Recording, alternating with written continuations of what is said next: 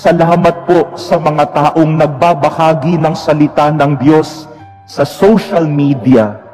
Lagi ninyong sineshare yung mga homily namin dito. Salamat sa inyo.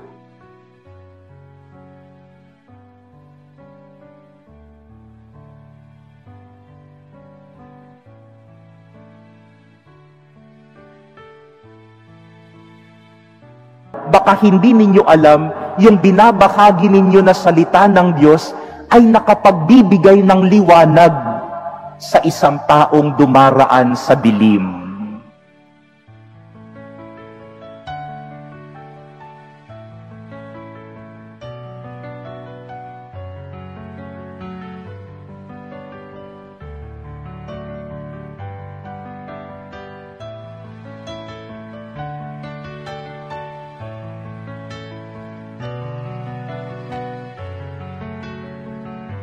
My dear brothers and sisters, one summer, when we were still seminarians, Archbishop Soc Villegas, who was then Auxiliary Bishop of Manila, brought us to Antipolo for a three-day team building workshop. And the workshop was facilitated by a group called Lubid because the activities for the team building all involved ropes. Now, one activity that I could not forget was that we were asked to cross between two trees tied with ropes. Now, the ropes were hanging maybe four to five meters above ground. And we, have to, we had to cross from one tree to another just using those ropes. Sabi ng facilitator, who wants to go first? Siyempre, walang gustong mauna. Kasi nakakatakot, lalambitin kami doon para lang makatawi doon sa puno. Kahit na may mga harness, nakakatakot pa din. Nung walang gustong mauna, sabi ni Archbishop Sok, ako na ang mauuna. And so he climbed the tree and crossed the rope. And after he did that, nung magtanong uli yung facilitator, sino ang gustong sumunod, marami na kaming nagtaas ng kamay kasi may nauna na. Nakita na namin kung paanong gawin. Now, I remember this, my dear brothers and sisters, because Jesus in our gospel tells us today, I will go ahead and I will prepare a place for you. And after I have prepared a place for you, I will come back and take you to myself mauuna muna ako, pero susunduin ko rin kayo. My dear brothers and sisters, Jesus always goes first. In our first reading today, we heard the preaching of Paul, and he talks about the suffering, the death, and the resurrection of Jesus. Now, Paul tells the story of Jesus not just to tell a story, but to give an assurance. By telling the story of Jesus, he was telling his listeners, look, Jesus suffered, Jesus died, Jesus went ahead of us in suffering and death. So we should not fear suffering and death because Jesus went ahead of us. Dahil nauna na siya, hindi na tayo dapat matakot sa pagdurusa. Dahil nauna na siya, wala nang dapat katakutan sa kamatayan. Dahil nauna siya, nakita natin na ang kamatayan ay daan sa muling pagkabuhay. Because He went first, we are not afraid to follow. Dahil nauna na siya, hindi na ako takot sumunod. That is why Jesus tells us in our gospel today, do not let your hearts be troubled. Have faith in me. Nauna na ako, kaya huwag ka nang matakot sumunod. Nauna na akong mahirapan, bakit ka matatakot sa paghihirap? Nauna na akong magpasa ng mabigat na krus, bakit ka matatakot sa mga maliliit mong krus. Nauna na akong masaktan. Bakit ka matatakot masaktan? Nauna na akong mamatay. Bakit ka matatakot sa kamatayan? And so Jesus tells us, I went first, so you do not, you will not be afraid to follow. So that where I am, Jesus says, you also may be. My dear brothers and sisters, Jesus is truly our good shepherd. He is our leader. He leads us. He goes ahead of us. Alam niyo po, may mga tao na hindi magtataya ng sarili. Sasabihin nila, bakit ako mauna? E paano pag delikado dyan? Ikaw muna ang mauna. Bahala ka sa sarili mo. May mga tao na magsasabing, o ikaw muna tumikim, baka may lason yan.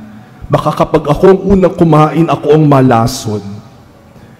May mga tao na pinuno, pero ayaw mauna. Hahayaang mapahamak ang iba, wag lang sila ang maunang.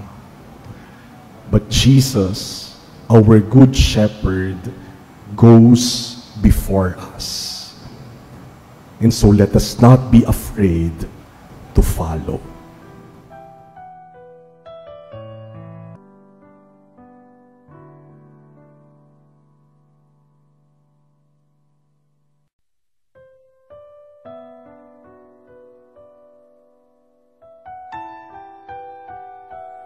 No, my dear brothers and sisters, we all love stories. And we all love to tell stories. Mahilig tayo sa kwento at mahilig tayong makipagkwentuhan.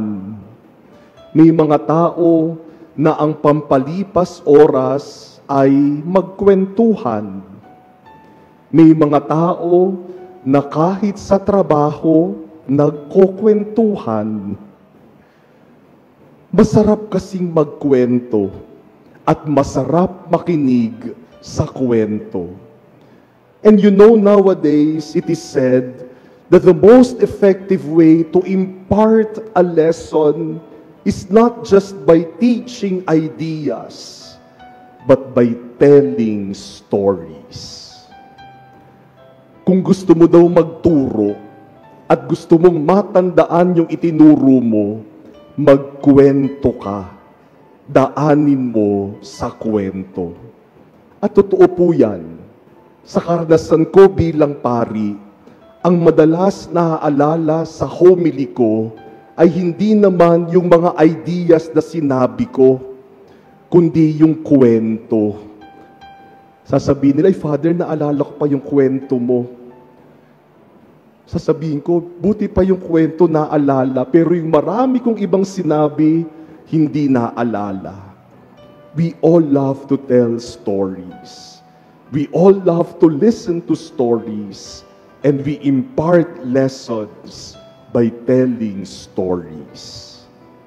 As we celebrate today the feast of Saint Mark, the invitation to all of us is to tell the story of Jesus. In our gospel today, Jesus sends the eleven and instructs them, Go into the whole world and proclaim the gospel to every creature. Parang sinasabi ni Jesus, ikwento ninyo ang kwento ko Dahil ang kwento ni Jesus ay tunay na mabuting balita. Ikwento natin ang kwento ni Jesus dahil yung kwento ni Jesus ang magandang balita. Marami tayong kwentong naririnig araw-araw. Sa ating kwentuhan, pinagkukwentuhan natin ang buhay ng iba. Pinagkukwentuhan natin ang nangyayari sa ating kapaligiran. Some stories discourage us. May mga kwento na nakapaghihina ng ating kalooban. May mga kwento na nakakasama ng loob. Jesus tells us today, tell my story because my story is always good news. Ikwento natin ang kwento ni Jesus. At yan ang magbibigay ng pag-asa, kagalakan, at buhay sa iba. Kung yung ikukwento natin ay makakasira lang, wag na lang tayong magkwento. Pero ang ikukwento natin ay kung paanong si Jesus ay naging totoo sa ating buhay. Yan ang ibahagi nating kwento. Let each of us be an evangelist. Not just a biographer, not just someone who writes the story about another person, but let us write the story of Jesus. Let us tell the story of Jesus through our words, but also through our lives. That is a true evangelist. Ikwento ang magandang balita, ang mabuting balita ni Jesus. Let each of one, each one of us be an evangelist. Tell the story of Jesus because that is the most beautiful story we can ever tell. The story of Jesus is the best news that we can ever share.